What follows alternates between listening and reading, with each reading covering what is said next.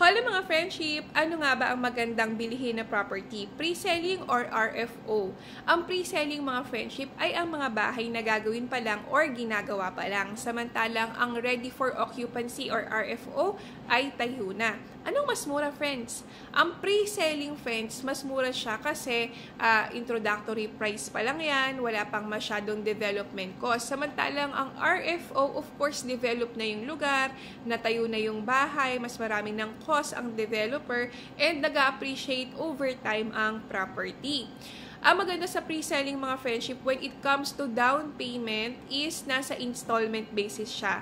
Stretch from 24 to 30 months, no? Kaya magaan sa bulsa. Ang ready for occupancy kasi mga friendship, either spot cash na siya or isang bagsakan na lang ang down payment or short term na lang. Halimbawa, kung ang down payment sa pre-selling ay nasa 240,000, pwede mo siyang bayaran ng 10,000 kada buwan sa 24 months.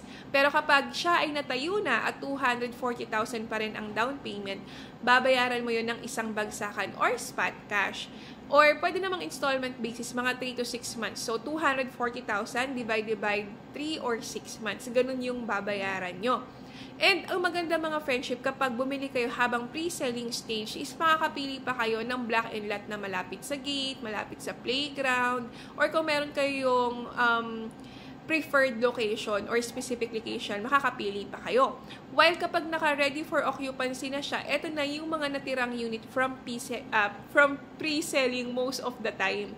So, kung ano na yung available, doon lang tayo makakapili. Ano naman yung advantage kung RFO na yung pipiliin nyo? Ang RFO kasi mga friendship is tayo na yung bahay. So, makakalipat kayo in 3 to 6 months after full payment ng DP and uh, complete submission ng requirements. So, kung ikaw ay nagtitipid at hindi naman nagmamadaling lumipat, go for pre-selling. Pero kung ikaw ay may pambayad naman at gusto mo na makalipat agad, go for ready for occupancy. Ayun na friends, bye!